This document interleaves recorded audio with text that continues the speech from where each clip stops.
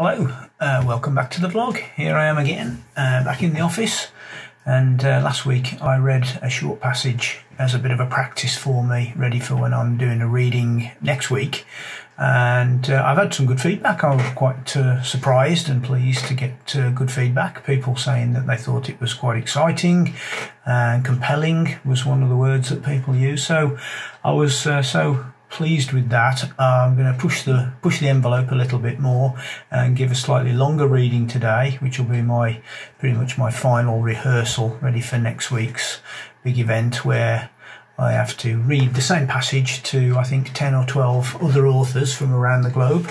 Uh, I don't know any of these authors particularly. I don't think that they're of particular fame or fortune, but still peer pressure, etc. It'll be interesting to uh, to see what other people find of my work and, and the delivery of it. So uh, bear with me while I try and read this. I'm going to try and do it without my glasses on because uh, I'm a bit vain and I don't like putting them on. So if I do stumble, I, apologise in advance. So uh, not looking straight at the camera. So here goes, diving straight in, pretty much from where I left off on the passage last week.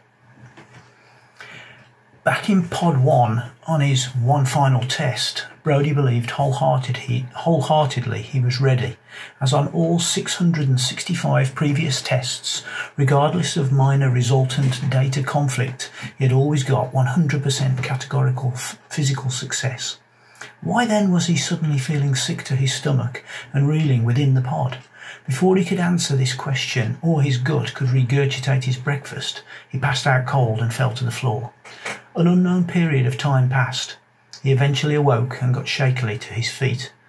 The sweat was dripping from his brow as the maglock on the transportation pod door spun, finally clicked, and the door slid back. A wave of emotion coursed through his system, and he felt faint again as he realized he wasn't back in his lab, or even in the return pod where he should have been. He was still in Pod 1, and it was the outside environment that seemed to have changed. This was a fact that contradicted all his understanding of the science he was trying to further. Both pods were bolted down to their earthing plates and so couldn't move. Brodie, dazed, automatically tried to comfort himself with humour and spoke aloud with a mixture of sarcasm and worry. Did the earth move for you, babe? With nobody there to hear his jest, he couldn't even muster a smile himself in response to his frivolous question, and so stared blankly out of the pod. Neither his normal predilection for humour nor the habitual thinking about Charlie were of any comfort. Sorry, for of any comfort now. He'd fallen head over heels the day they met, but despaired at the chance of her ever reciprocating the feeling. He now heaved a huge sigh of no going back proportions then very tentatively took his first Armstrong-esque small step out of the pod, and he definitely wasn't mentally prepared for the giant leap into the complete unknown that he was just about to take.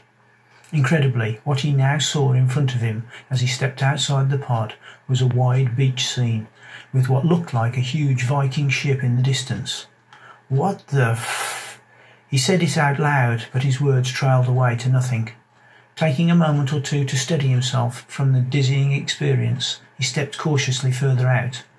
With his feet in casual loafers, he sank into the crisp, sugary sand. It's real.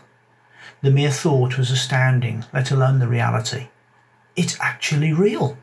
His anxious thoughts spilled from his lips now, but still he bent and touched the sand in disbelief, running his fingers through it like an excited child a child at the seaside for the first time, having never seen the sea, let alone a Viking ship. It wasn't excitement he felt, though.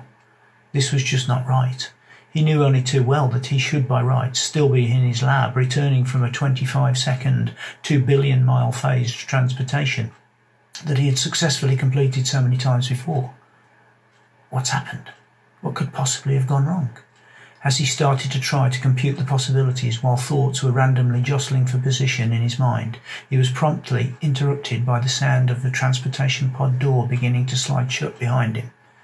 Letting go of all the computations, he turned to see the whole pod fading from vision. He desperately dived, goalkeeper-like, clutching at the disintegrating image. He grabbed only air as he landed firmly on the soft sand, where the pod had previously stood. Panic now began to edge into his mind.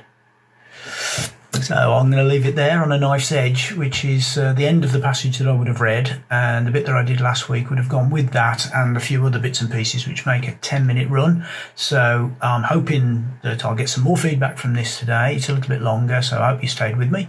And uh, if you liked it, head yourself over to Amazon and get a copy of Breaking the Tranquillity of Solitude and read it for yourself. Thanks very much for listening tonight, and um, I hope you enjoyed it, and I'll see you next week. Take care now. Bye bye.